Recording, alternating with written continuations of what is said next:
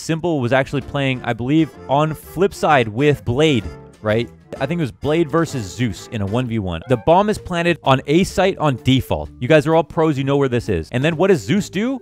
Zeus goes to Arch. And then blad3 hears Zeus's Arch. There's no time to fake it and kill the guy. blad3 sticks the bomb. Zeus throws some shit. blad3 gets off the bomb to peek him. And then Zeus is run away and they lose the map. Simple is so tilted that he tweets out, I can't believe players that have this much experience can do things that are this stupid. And then deletes blad3 off of Steam at the LAN and leaves the team. There, there's no time to actually fake anyway. There is no time! The reason why Susan Look at s1mple, dude!